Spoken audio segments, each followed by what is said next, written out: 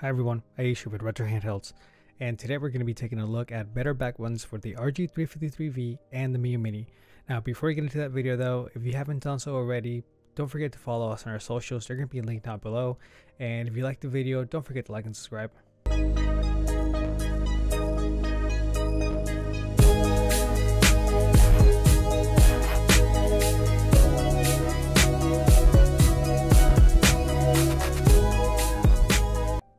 Okay, so we're going to be looking at the better back buttons for the Miyoo Mini.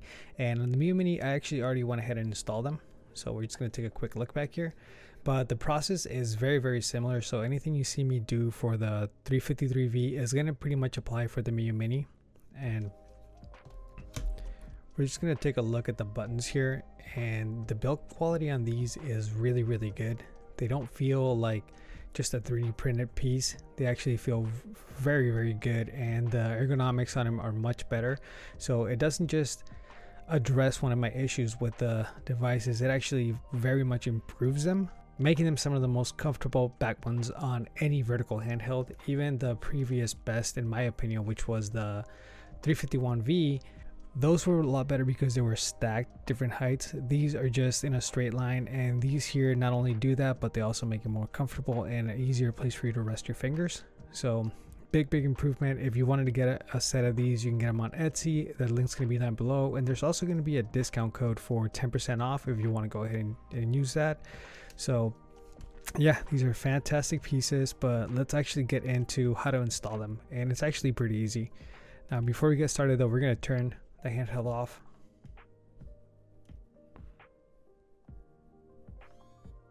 Alright, once that's off, wait for the LED to turn. There we go. We're going to pop the micro SD card out.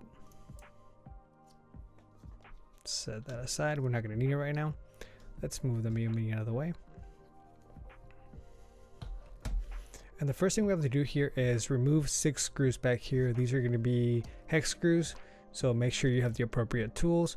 The pieces you need are going to be with the buttons when you order them, but you are going to have to provide your own tools. There's also going to be a little bit of um, sandpaper in case you needed to sand anything, but I didn't have, have any issues with the fit.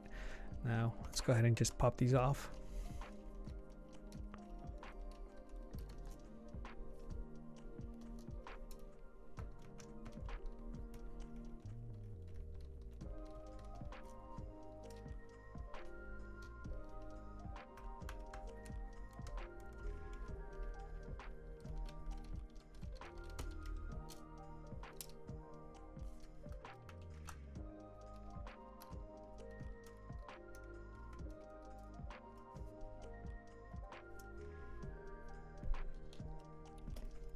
Okay, so once those are out, you're going to want to go ahead and pry this open. So just take a little prying tool and you can start right here where the micro SD cards go. Just make sure you take them out first.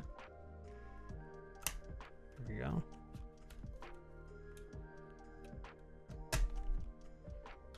And it should open up. You want to make sure you do it on this side first where the micro SD cards are because both the battery and the Wi-Fi antenna are going to connect on this side and you don't want to damage that on accident. So we're just going to disconnect these.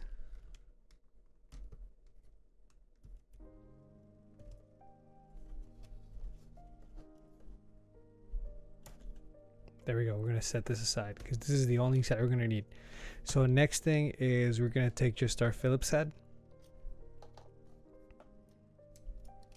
and take these two out.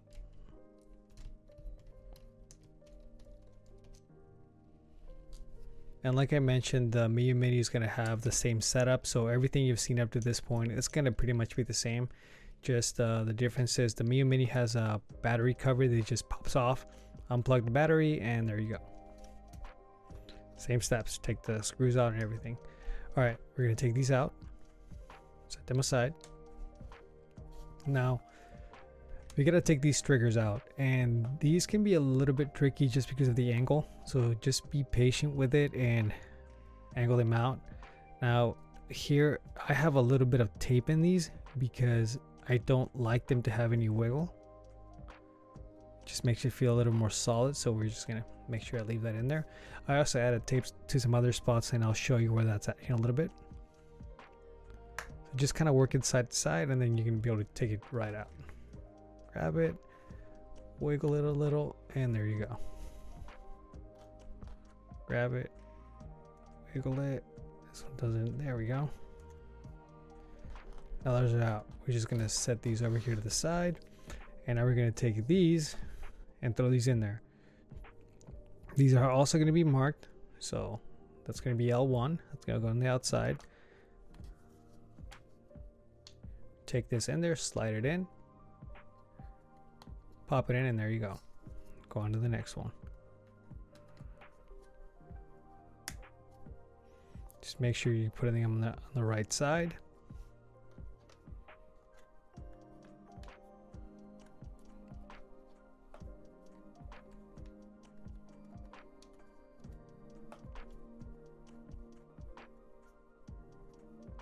Now, be careful because the first time I tried doing this, I actually accidentally broke this little clip here and I had to super glue it back on there.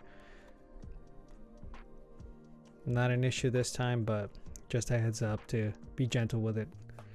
Now, the next thing is you're going to take this little clip here and you're going to slide it in here. Oops.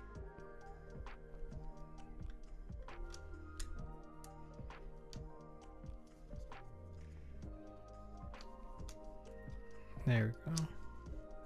Just like that. So make sure those little clips there are over the um, this little part here. So now we're going to take our screws again.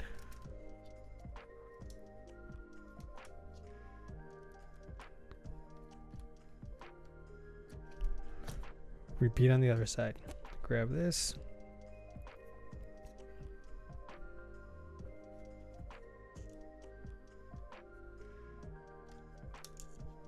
Slide it in there.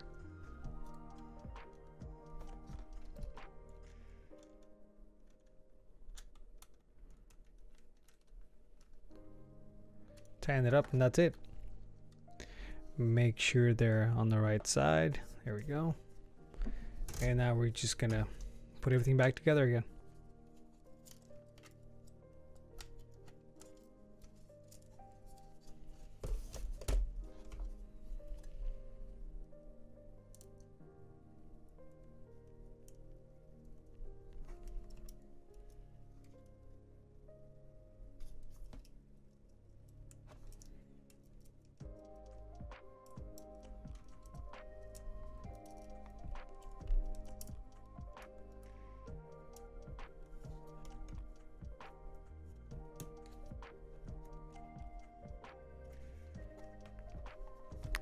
Now, before I close that up again, I did mention that I put a little bit of tape on the hinges there. I also added a layer of tape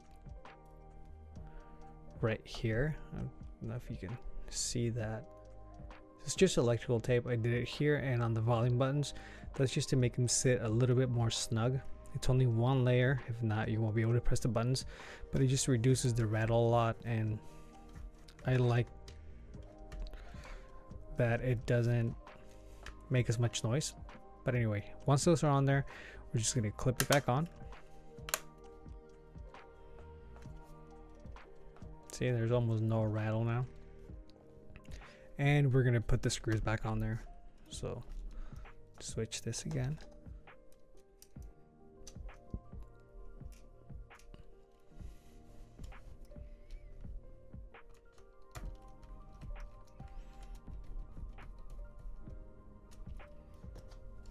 Okay, and there we go.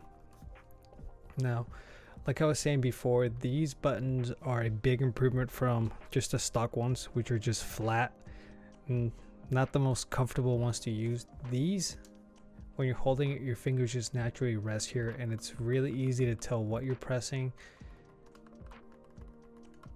So you're gonna just use the tip of your fingers for L2, R2 and right around the knuckle, the top knuckle of your finger, just for L1, R1.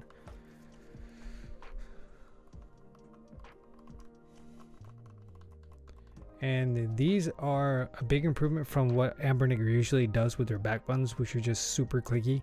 These are more of a more satisfying but more dull sounding click. See if I can get it a little closer here.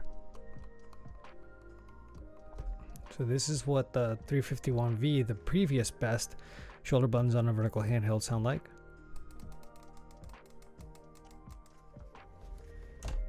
And these are the new ones.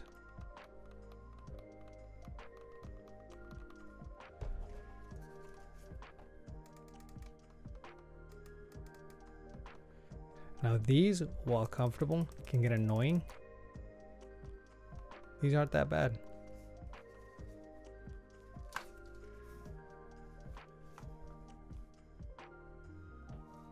So here we can get a comparison. This is what I was talking about, the different heights, which just make them a little bit more comfortable. Now these are very distinctly different heights and much easier to press, much more enjoyable to press.